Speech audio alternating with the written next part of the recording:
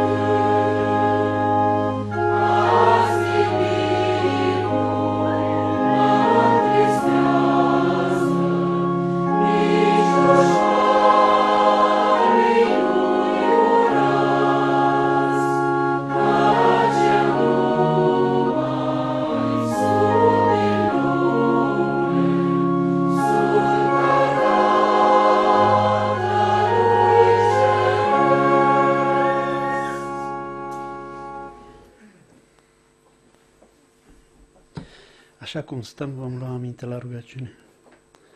Tatăl nostru care ești în ceruri, în numele și meritele Domnului nostru Isus Hristos, venim în această clipă, plecați în umilință la picioarele tale, să-ți mulțumim, Doamne, pentru bunătatea pe care ți-ai dovedit-o față de noi în această săptămână. Îți mulțumim pentru viață, pentru sănătate, pentru puteri de muncă, înțelepciune, pricepere. Îți mulțumim că ai fost cu noi în toate activitățile noastre și ai rezolvat problemele noastre după găsirea ta cu cale. Îți mulțumim că ne-ai făcut ocazia ca la această oră să putem să stăm la picioarele tale.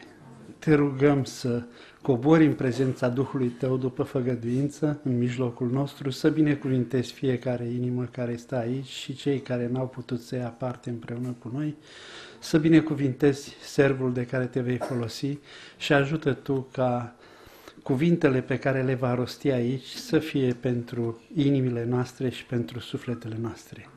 Te rugăm să ne ajut să le punem în practica vieții de zi cu zi și astfel la venirea Ta să ne găsești ca niște servi buni și ascultători. Îți mulțumim pentru că vei fi cu noi, te lăudăm și te mărim de acum și până în veci de veci. Amin. Amin.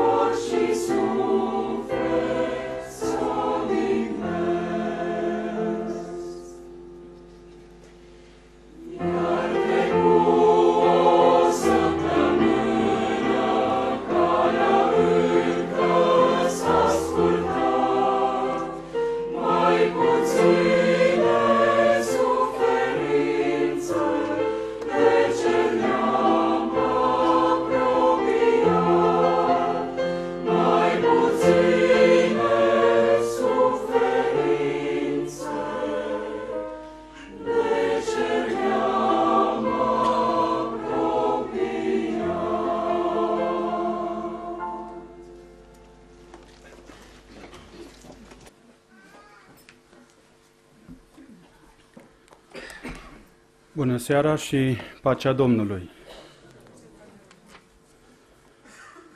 Este adevărat că a mai trecut o săptămână, mai cu bine, mai cu puțin bine, dar a mai trecut o săptămână. Și este frumos atunci când ne întâlnim în casa lui Dumnezeu și putem să ne vedem, să ne salutăm, Putem să ascultăm un mesaj din partea Domnului și mai trece o săptămână și iarăși ne vedem și iarăși mai trece o săptămână.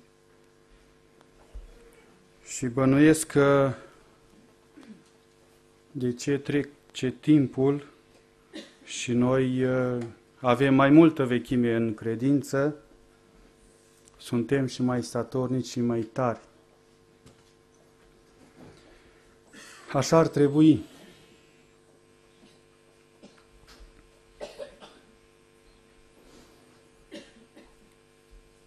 Mesajul din seara aceasta l-am intitulat Două drumuri de urmat. Și deja unii bănuiți despre ce vrem să vorbim în seara aceasta. În Matei, la capitolul 17, cu versetul 13, și versetul 14 ne spune, intrați pe poarta cea strâmtă, căci largă este poarta, lată este calea care duce la pierzare și mulți sunt cei ce intră pe ea.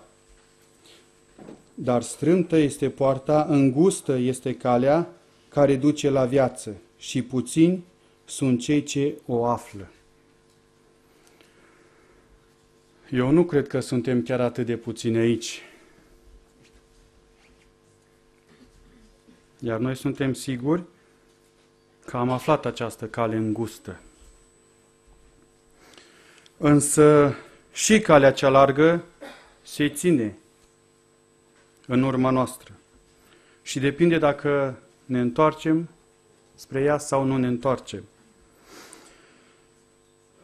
Aceste versete ne ajută să înțelegem că Hristos nu cunoaște mai multe căi. Nu recunoaște decât două căi de urmat. Calea cea largă și calea cea îngustă. Doar aceste două feluri de căi.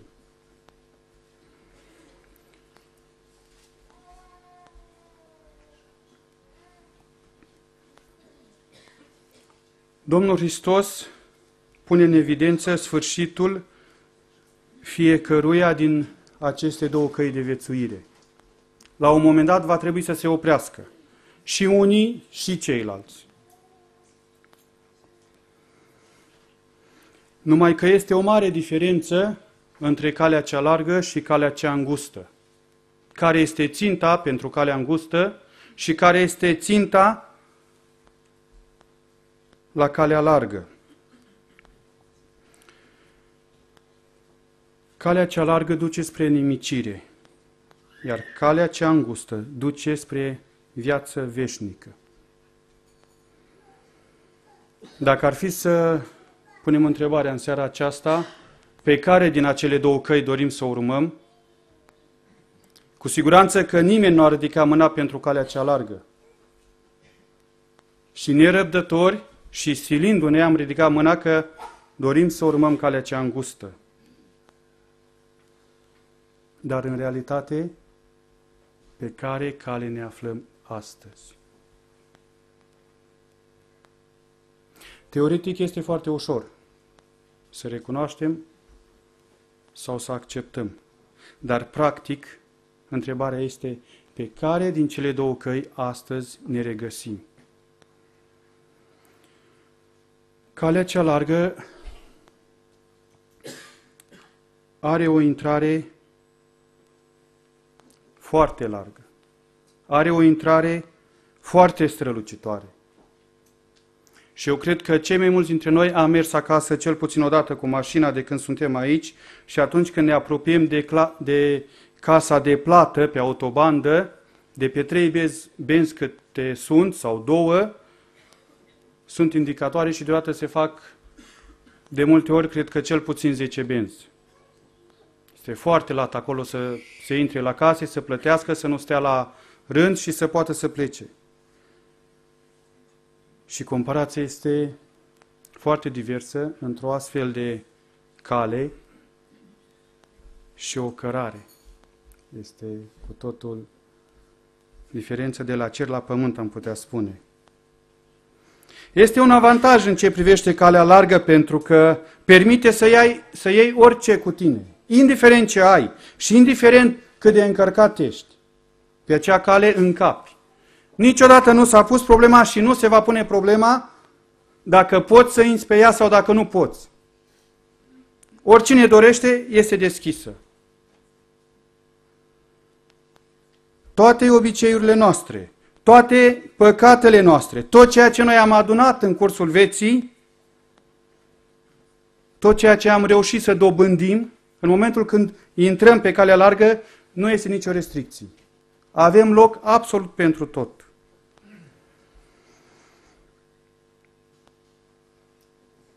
Dar este posibil să fie o tactică foarte înșelătoare.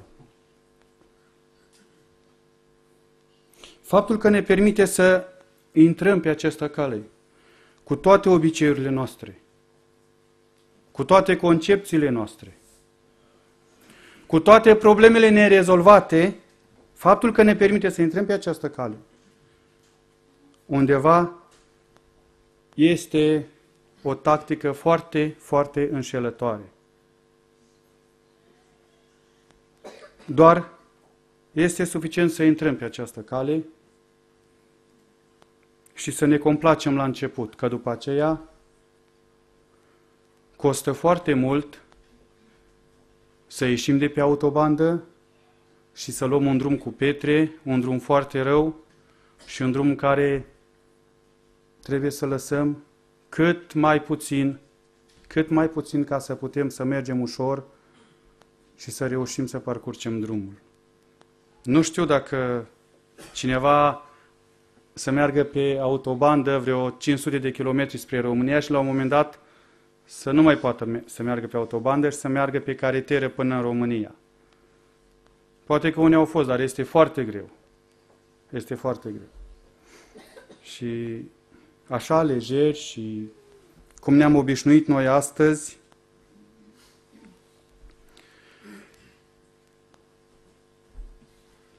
avem uh, câteva versete care v-aș invita să le citim împreună la Proverbe, capitolul 2 cu versetul 13 uh, la 15.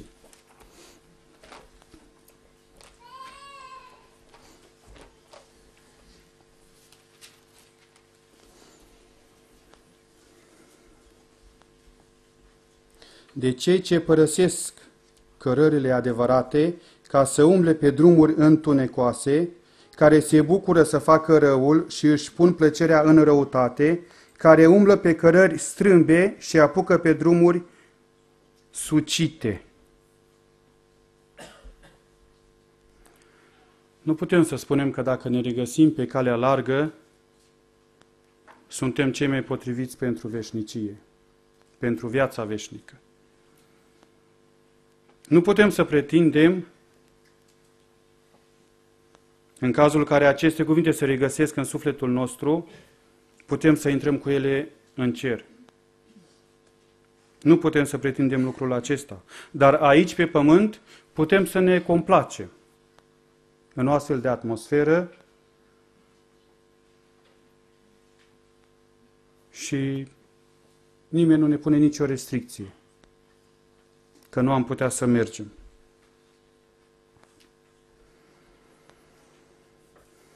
În Psalmul 125, cu versetul 4 și 5, Doamne, varsă-ți binefacerile peste cei buni și peste cei cu inima fără prihană, dar pe cei ce apucă pe căi lăturalnice, să-i nimicească Domnul împreună cu cei ce fac răul.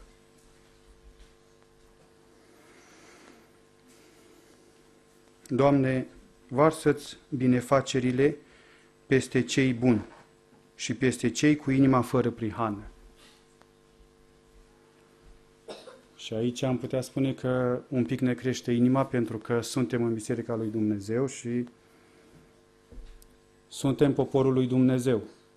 Să nu spunem mai mult. Însă, Domnul Hristos ne dă un sfat. Intrați pe poarta cea strâmtă. Intrați pe această poartă pentru că aici este cineva care vă așteaptă și vă însoțește.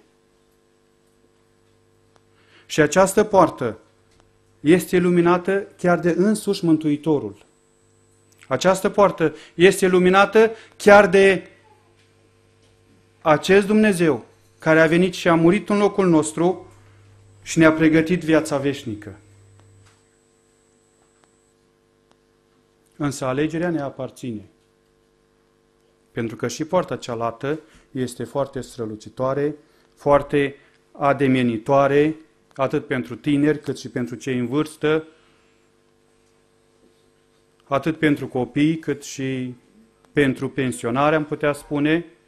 Deci la fiecare perioadă a vieții, calea cea largă are o plăcere enorm de atrăgătoare. Și este foarte luminată. Și ne lasă să intrăm absolut cu tot ceea ce avem după noi și nimeni nu ne cere cont de ce facem și cum facem. Putem să trăim pământește, firește, sufletește, așa să ne desfătăm în această viață. Și ne simțim bine. Iar de cealaltă parte este Cel care a plătit prețul vieții pentru noi și așteaptă să intrăm pe acea cale. Puțini sunt cei care o află și intră pe ea. Puțini sunt cei care aleg calea cea îngustă și doresc să meargă pe această cale.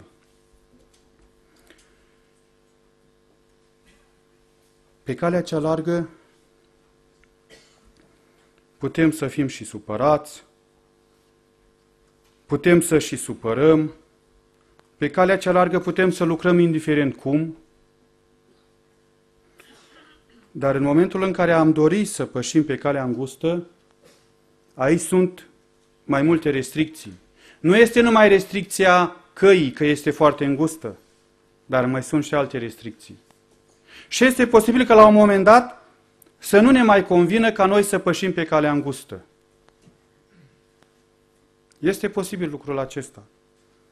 Și eu cred că mulți ne regăsim în acest pericol.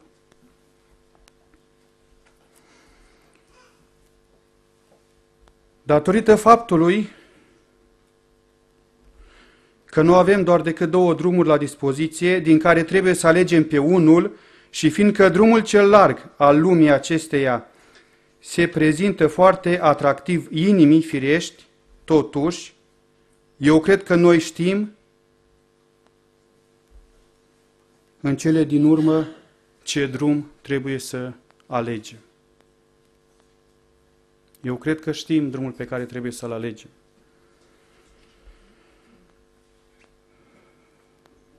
Câți dintre noi nu ar vrea să aleagă drumul cel îngust? Cu toții. Nu cred că ar rămâne vreo mână neridicată în, în seara aceasta ca cineva să nu dorească să meargă pe drumul îngust. Și totuși, dacă ar fi să ne facem o analiză sufletească, în care din cele două drumuri ne regăsim, cred că balanța înclină mai mult spre drumul larg. Și acest mesaj este un mare avertisment pentru noi. Să ne dăm seama în cazul în care cumva ne-am regăsit pe drumul larg, să ieșim de pe el cu cea mai mare grabă și să ne întoarcem pe drumul cel îngust.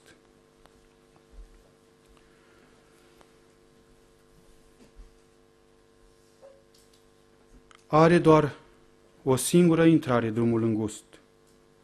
Toți cei care intră aici trebuie să abandoneze toate lucrurile lumii acesteia. Ei nu pot să intre cu ele. Absolut cu nimic.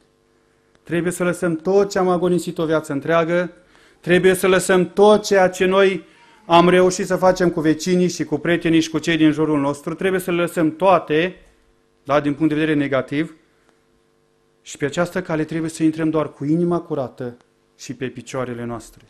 Nici mai mult, nici mai puțin.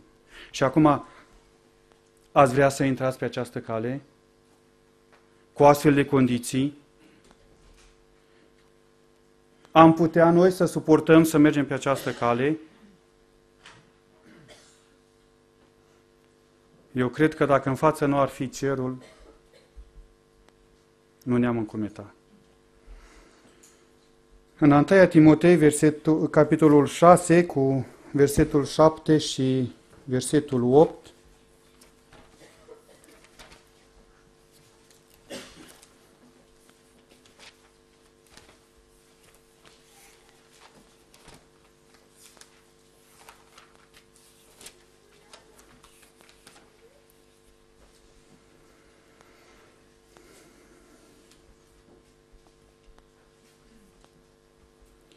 Aici sunt niște versete foarte importante care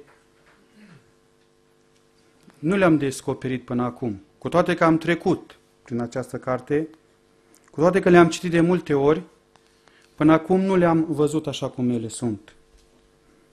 De multe ori noi pretindem să luăm tot bagajul după noi, de multe ori noi pretindem ca tot ce am agonisit să fie al nostru, dar va veni un timp în istoria acestui pământ când vom fi scoși de sub autoritățile civile și atunci vor veni oamenii și ne vor lua tot ceea ce noi am adunat. Și atunci vom avea de ales. Rămânem pe calea cea largă cu tot ceea ce noi am strâns? Sau lăsăm totul și fugim la stânci și la munți? Pe aceea care are îngustă prin pădure, dar care duce spre cer. Versetul 7 și 8 ne spune aici, căci noi n-am adus nimic în lume și nici nu putem să luăm cu noi nimic din ea. Dacă avem dar cu ce să ne hrănim și cu ce să ne îmbrăcăm, ne va fi de ajuns. Ne interesează foarte mult versetul 7, căci noi n-am adus nimic în această lume și de aceea nici nu avem ce să luăm.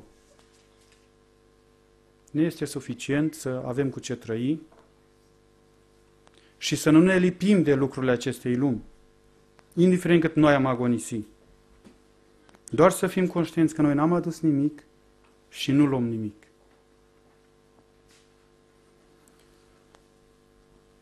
Și pe acea cale îngustă, atunci când suntem hotărâți să pășim și când am reușit să pășim cu toată inima, să fim conștienți de un singur lucru. Nu putem să mergem cu nimic și cu nimeni altcineva decât cu Dumnezeu. Mântuitorul însuși este lumina acelei căi și El însuși ne ia de mână și merge împreună cu noi. Doar noi să întindem mâna și să ne îndreptăm pe acea cale îngustă care este pregătită de Mântuitorul vieții. Toți cei care doresc să intre pe această cale nu pot intra absolut cu nimic. Iar noi care suntem îndreptați spre această cale, suntem conștienți de lucrul acesta. Și în momentul când am acceptat această biserică și am încheiat un legământ în această biserică, noi suntem conștienți că suntem noi și Dumnezeu împreună cu noi. Ce frumos va fi atunci când va chema Domnul pe toți copiii săi și le va oferi cerul. Ce frumos va fi atunci pentru noi când ne vom da seama că tot efortul care l-am făcut s-a meritat. Și să știți că se va merita efortul acesta și eu știu că toți care suntem aici știm lucrul acesta. De aceea, nu cred că are rost să ne mai regăsim pe calea cea largă care duce la peire. Noi știm din punct de vedere practic starea noastră și cred că este timpul să ne îndreptăm pe calea cea îngustă. Sunt aici multe versete care aș fi vrut să le studiem în seara aceasta, dar uh, timpul nu ne permite. Aș vrea doar să deschidem Sfânta Scriptură la Marcul, capitolul 10, cu versetul 28 la 30.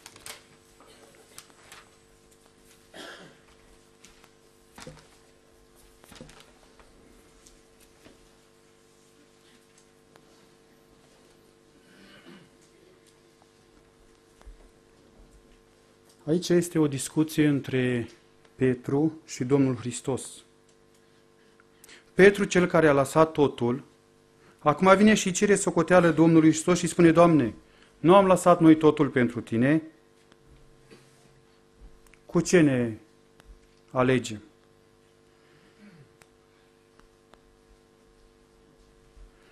Este atât de strâmtă calea aceasta încât putem merge doar câte unul singur, unul câte unul. Nu putem absolut niciun băgăjel să ne luăm cu noi.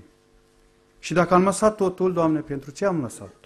Și dacă ne sacrificăm atât, și dacă nu putem să urâm și nu putem să bat jocorim, și dacă noi nu putem să fim ca cei din lume, dacă noi nu putem să ne îmbrăcăm ca cei din lume, și dacă nu putem nici chiar pe stradă să ieșim ca cei din lume, pentru că trebuie să le fim exemplu, chiar și pe stradă, în cursul săptămânii, cu ce ne alegem noi, Doamne?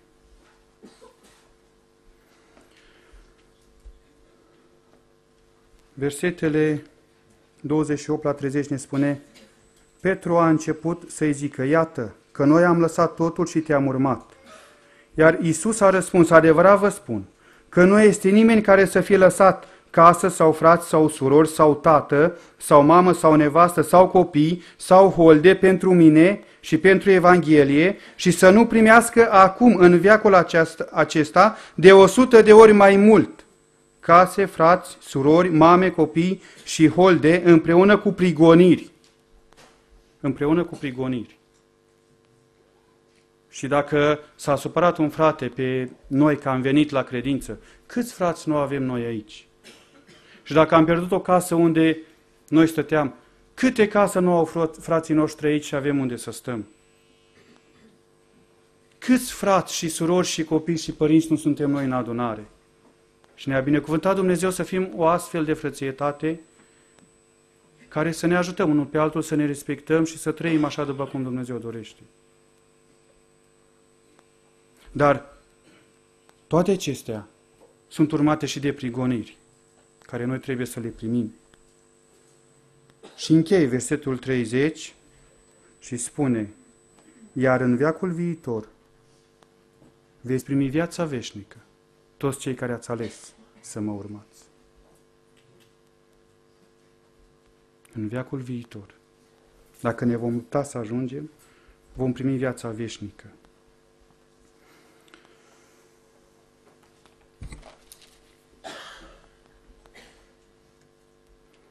Iacob și Esau au făcut alegerea lor în ceea ce privește drumul vieții.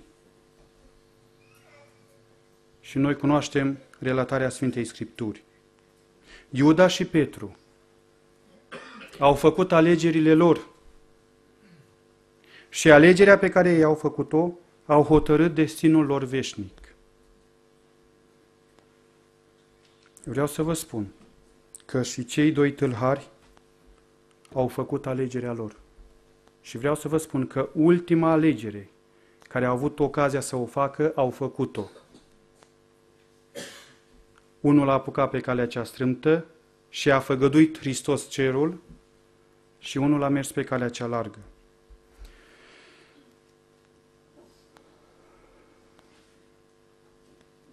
Dacă ar fi ca noi să facem o ultimă alegere, care am face?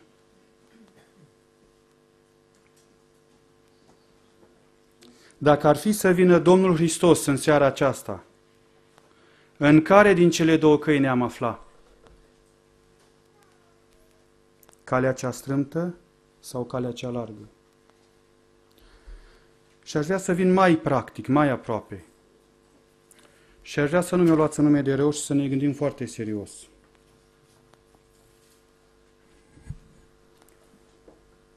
Dacă ar fi să încheiem capitolul vieții în noaptea aceasta, avem certitudinea că în starea în care ne aflăm și drumul pe care suntem ne va duce în ceruri? Este un Dumnezeu care ne-a creat și este un Iisus Hristos care a murit pentru noi. Și ne așteaptă cu brațele deschise, zi și noapte, să intrăm pe calea cea îngustă și să ne conducă spre împărăția cerului. Dumnezeu să ne ajute. Amin.